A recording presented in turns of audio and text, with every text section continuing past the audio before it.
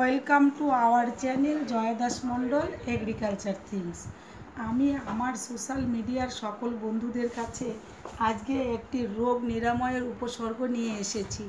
দুর্ধর্ষ কাজ হয়। তো ভিডিওটি আপনাদের আমি দেখাতে চাইছি।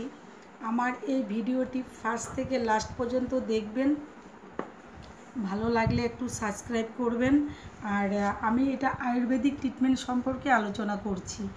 আমার প্রিয় বন্ধুগণ, সকলকে আমি দেখাতে চাইছি, ধরুন আজকাল শোনা যায় বাতের ব্যথা গিঠু ব্যথা মানে সারা শরীরে ব্যথাই শুধু শোনা যায়, মাজায় ব্যথা।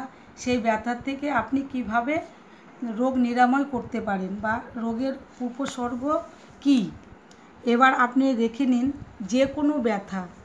ব্যথার জন্য আমি নিচ্ছি এখানে দেখুন, এই যে দুটো কদমের পাতা নিলাম। আপনি বেশিও নিতে পারেন।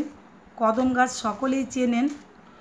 আপনি দেখবেন কদম পাতাটাকে ছিঁড়লে পরে নাকের কাছে নিয়ে দেখবেন ওর কাছে আয়োডেক্সের গন্ধ পাওয়া যায়।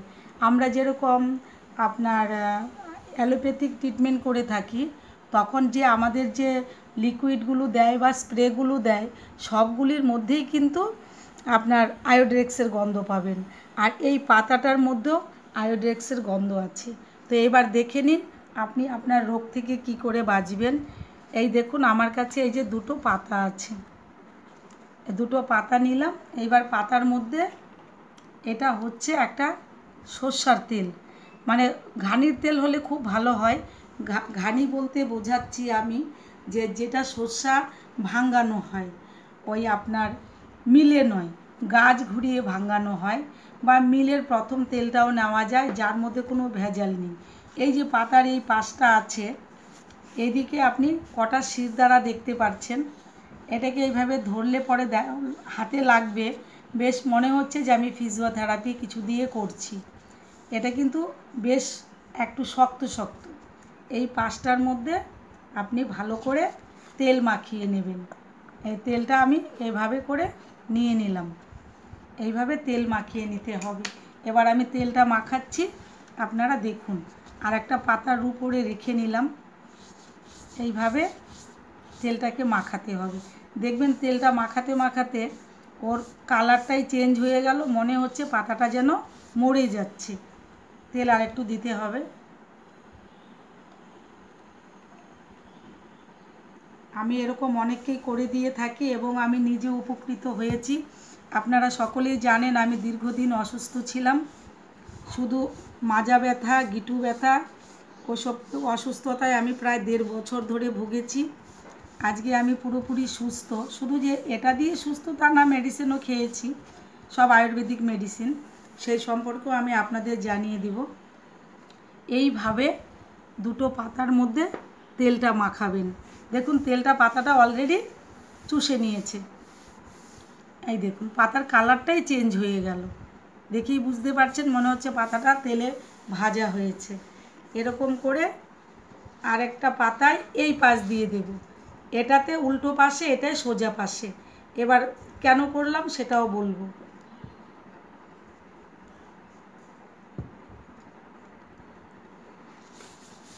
এবার এই যে করে নিলাম এটা সোজা পাশে। ওটার উল্টা পাশে দিয়েছি, এটা সোজা পাশে। এবার দুটো পাতাকে আমি এইভাবে জয়েন্ট করব।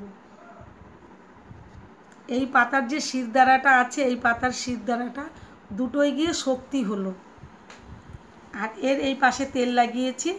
এবার এই পাতাটাকে আপনি গ্যাসের আগুনে হোক বা উনুন, কয়লার উনুনে সবচেয়ে ভালো হয় বা আপনার কাঠের উনান হোক, কিছু হোক, এর মধ্যে এইভাবে পাতাটা দেবেন। আর যদি উনুনে দিতে খুব অসুবিধা হয়, রুটি বানানোর যে, আমরা রুটি বানিয়ে থাকি যে চাটুতে, ওর মধ্যে এরকম করে দিন। রুটি বানানোর মতো করে সেকে নিন। সেকে তারপরে এটাকে আপনি এরকম ধরবেন একবার, এরকমভাবে ধরবেন একবার, ধরে শেক করবেন, আরেকবার, এবার এটাকে এইভাবে ঘুরিয়ে নিতে হবে। এইভাবে ধরে আর একবার শেক করবেন। এরকম করে করে যদি আপনার হাতের প্রচণ্ড ব্যথা হয়, তাহলে এরকম ধরে নিয়ে এই যে এইভাবে দিয়ে একা একা তো হয় না করা। আমি তবু জাস্ট দেখিয়ে দিচ্ছি। এরকম করে দেবেন এই পাশ থেকে উল্টো পাশটা দিয়ে দেবেন। এই যে আমি উল্টো দিক দিয়ে দিয়েছি। আর এটা যখন আপনি দেবেন, তখন এটা সোজা পাশ থেকে দেবেন।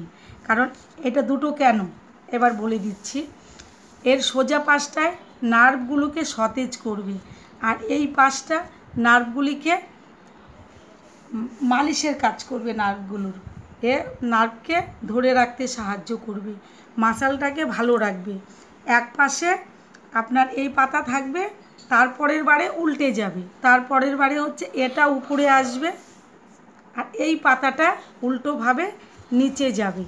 এরকম করে যদি আপনি দশ মিনিট করে বেঁধে রাখতে পারেন, তাহলে পরে আপনি যে কোনো ব্যথার থেকে মুক্তি পাবেন। এবার আমি তো কোমরে বাঁধতে পারব না বা মাথায় বাঁধতে পারব না।